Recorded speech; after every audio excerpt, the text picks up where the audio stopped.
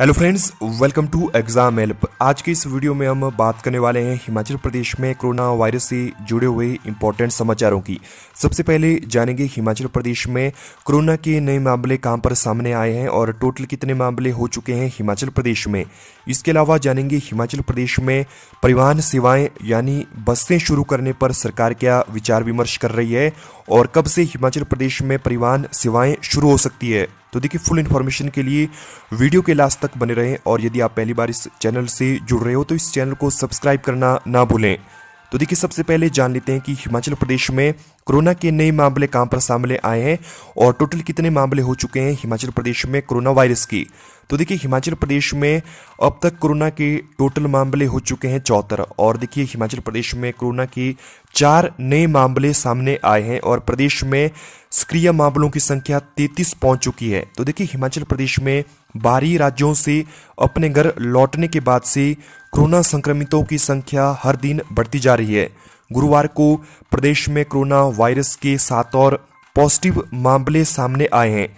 इसमें से दिल्ली से चार मई को अपने घर पाउंटा साहिब लौटी तीस वर्षीय महिला, उसकी सात वर्षीय बेटी कांगड़ा ज़िले के घुरकंडी में मुंबई से नौ मई को लौटी चौबीस वर्षीय महिला और शीला चौक निवासी सतावन वर्षीय महिला शामिल है।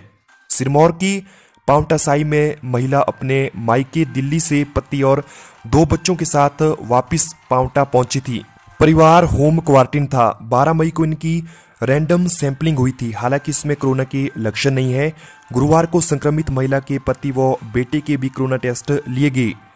इसके अलावा देखिए, कांगड़ा के घुरकंडी में सामने आई कोरोना पॉजिटिव महिला मुंबई में सॉफ्टवेयर कंपनी में काम करती थी। इसके अलावा बिलासपुर में दो नए केस सामने आए हैं और बिलासपुर ज़िले में देर रात होम क्वारंटीन पर चल रहे दो व्यक्तियों की रिपोर्ट पॉजिटिव आई है।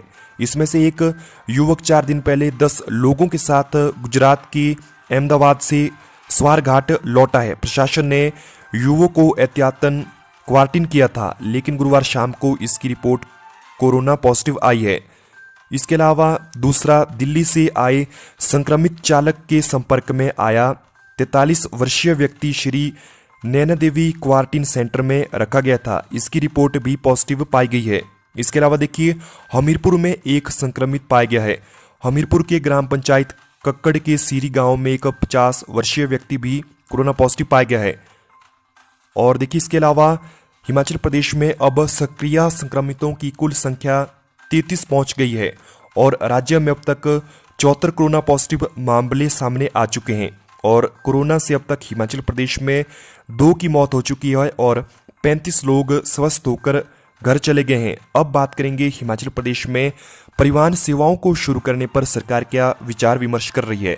तो देखिए, हिमाचल प्रदेश में बस किराया बढ़ाने के साथ परिवहन सेवाएँ शुरू करने की तैयारी कर रही है हिमाचल प्रदेश सरकार।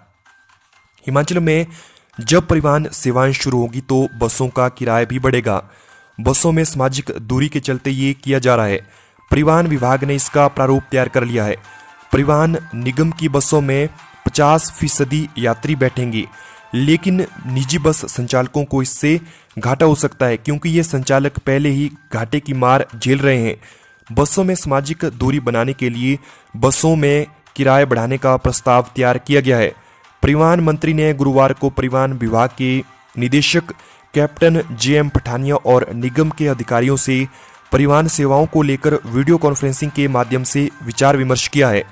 अफसरों के ने सुझाव दिया है कि बसों की हर सीट पर सवारियों को कोरोना की जानकारी दी जाएगी। बस अड्डों पर सैनिटाइजर की व्यवस्था होगी और यात्रियों को लाउड स्पीकर के माध्यम से कोरोना से बचाव और उपाय के बारे में अवगत करवाया जाएगा। बताया जा रहा है कि बसों का किराया डेढ़ गुना बढ़ सकता है। अफसरों के साथ वीडियो कॉन्फ्रेंसिंग के बाद परिवहन मंत्री गोविंद ठाकुर ने सोशल मीडिया पर परिवहन सेवाओं को लेकर जानकारी साझा की है और उन्होंने जानकारी दी है कि लॉकडाउन चार में बस सेवाएँ हिमाचल प्रदेश में शुरू हो सकती है। यानी जब भी हिमाचल प्रदेश में लॉकडाउन चार की घोषणा होगी तो लॉकडाउन चार में हिमाचल प्रदेश में सरकार परिवहन सेवाओं को शुरू कर सकती है। ये कहना है, हिमाचल प्रदेश में हिमाचल प्रदेश के परिवहन मंत्री गोविंद सिंह ठाकुर का। और अभी 17 मई तक हिमाचल प्रदेश में लॉकडाउन थ्री चल रहा है और 17 मई के बाद लॉकडाउन फोर की घोषणा हो सकती है हिमाचल प्रदेश में। और इस लॉकडाउन फोर में हिमाचल प्रदेश में परिवहन सेवाएँ हिमाचल प्रदेश में शुरू हो सकती है और किराया भी बढ़ाया जा सकता है। तो देखिए, आज के इस वीडियो में बस इतना ही। इस चैनल को सब्सक्राइब करना ना भूलें। इस वीडियो को लाइक और शेयर करें। Thanks for watching